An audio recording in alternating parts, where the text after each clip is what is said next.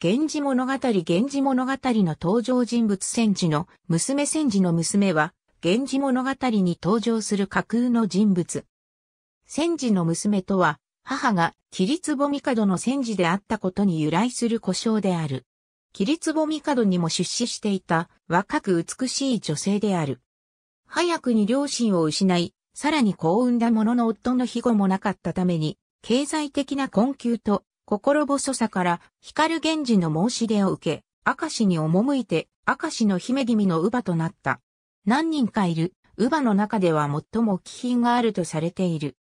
父は、宮内教で最小、母は、桐壺帝の戦時であったがこの両親を早くに失っている。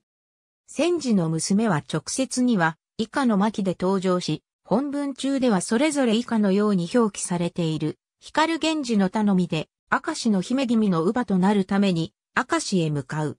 明石の君や明石の姫君の一行と共に上京し、光源氏と再会して語らう。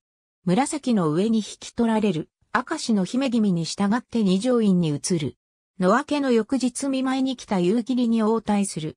明石の姫君の時代に従う。光源氏の住吉詣に従って、明石の二君や明石の君と同社する。ありがとうございます。